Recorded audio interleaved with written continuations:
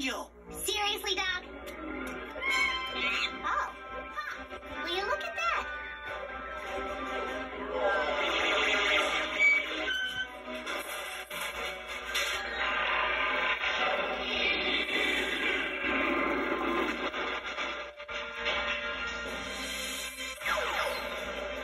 Greetings, people of Earth. My name is Miss Power. And this is my loyal sidekick, Colonel Gigglecheeks. We've come to Earth looking for you. Really? Yes, Earth's greatest champion. You've battled lots of evil and uh, hideous. But is that a brain on the outside of your head? Uh huh. Like it. Yikes. Hmm. Anyway, where was I? Oh yes, Word Girl, Earth's greatest champion.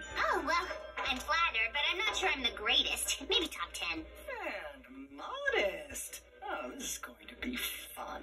What is? Uh, why, training you, of course. You could definitely use some help. Okay, little less flattered. No, no, I didn't mean to be discouraging. I meant to be more, um, Encouraging? You were trying to say it's great that I'm a crime fighter and also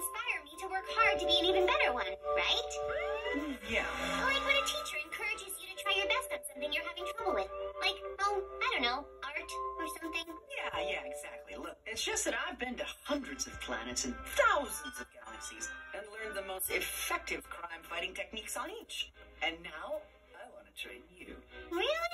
I've used my knowledge to train some of the greatest champions of the universe. Maybe you've heard of a little someone by the name of Grek the Invincible. Hmm? Nothing? No. He's amazing. It's a lot more impressive if you know him.